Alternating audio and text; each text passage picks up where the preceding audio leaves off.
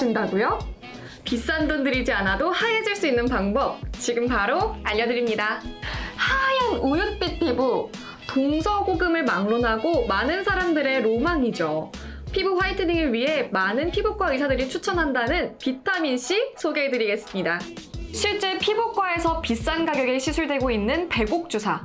바로 배곡주사에 들어가는 게 고용량의 비타민C인데요. 비타민C, 대체 피부에 어떤 도움을 주길래 이렇게 직접 피부에 주입시키는 시술까지 나왔을까요? 피부를 맑고 깨끗하게. 비타민C의 핵심 효능 중 하나인데요. 비타민C는 멜라닌 합성을 억제시켜주기 때문입니다. 멜라닌은 우리 피부가 자외선에 오랜 시간 동안 노출이 되었을 때 자외선 흡수를 막아주기 위해서 생성되는 물질입니다.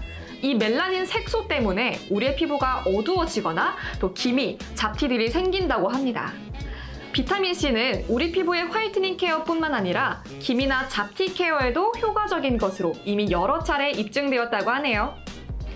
피부의 보습과 탄력을 위해 중요한 콜라겐 역시 많이 들어보셨을 텐데요. 비타민C는 콜라겐 생성을 촉진하기 때문에 피부 화이트닝뿐만 아니라 피부를 탱탱하게 해주고 또 항산화 작용으로 피부 노화 방지까지 해줍니다. 피부 미용을 위해 필수적인 비타민C. 우리 몸에서 자체 생산될 수 없기 때문에 외부적인 요인으로 보충하는 것이 중요합니다. 지속적인 효과를 위해 장기간 꾸준하게 섭취하는 것이 중요한데요.